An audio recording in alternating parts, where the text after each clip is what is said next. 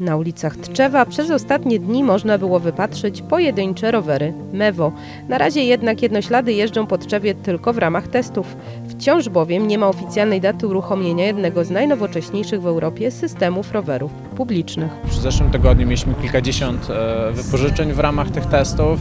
E, No i dwa były takie, można powiedzieć, dwie takie krytyczne sytuacje, kiedy roweru, e, mimo że został wypożyczony, blokada się nie odblokowała i roweru, rowerem nie dało się jechać, a był cały czas na wypożyczeniu w aplikacji. No jakby to są sytuacje niedopuszczalne i jakby chcielibyśmy, chcemy, żeby ten system był w 100% gotowy, po to, żeby mieszkańcy e, nie zrazili się e, do błędów, które mogłyby powstać na samym początku, e, no bo chcemy, żeby jak najwięcej osób z tego korzystało, więc e, wszystko, co, co jest w umowie, co firma musi, musi spełnić, to chcemy bardzo szczegółowo to dopilnować.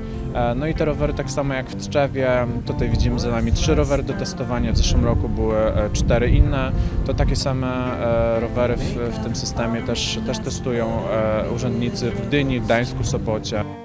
Pierwotnie system miał ruszyć 18 listopada, data startu została przełożona na 9 grudnia, a później na 18 stycznia. Wymieniało się również 1 marca. Żadnej z dat nie udało się na razie dotrzymać. Trudno nam teraz powiedzieć o dokładnej dacie startu systemu. E, My wewnętrznie sobie różne daty ustalamy i z tygodnia na tydzień one się zmieniają, dlatego też nie chcemy mówić publicznie, po to, żeby no, nie zawieść mieszkańców, że a, poda, podali konkretną datę, a znów nie jest dotrzymana. Więc wtedy, kiedy będziemy na pewno pewni co do daty, to wtedy ona będzie zakomunikowana. Mm, Obecnie trwają jakby kolejne testy sprawdzające, czy jakby dopuszczamy ten rower do użytku dla mieszkańców. Samym rowerem dobrze się jedzie. Można powiedzieć, że to wspomaganie jest, jest wystarczające, rower jest wygodny. E, testowaliśmy go tutaj na, na ulicy Sambora, na Czyżykowskiej, na, na całej trasie do Górek z Bajkowego i naprawdę myślę, że, że mieszkańcy będą zadowoleni. Że problemy, które występują i odebrać e, tego systemu, to są problemy cały czas z aplikacją, Mewo to największy w Europie system roweru publicznego w całości składający się z rowerów wspomaganych elektrycznie. Oznacza to, że silnik weźmie na siebie tyle wysiłku, ile włoży rowerzysta.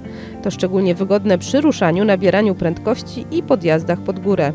Docelowo na terenie 14 miast i gmin dostępnych będzie ponad 4000 rowerów.